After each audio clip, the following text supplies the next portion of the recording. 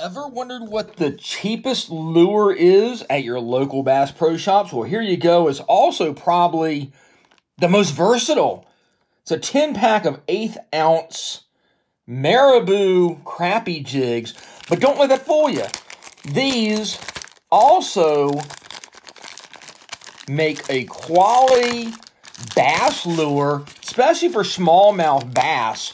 So these come out to 35 cents a piece. So essentially, it's about a two-ish inch marabou, basically hair jig. So I can throw these just like a standard hair jig for smallmouth bass here on the river, like I do with uh, all the other hair jigs that I throw. And this will pick up all sorts of bass and panfish.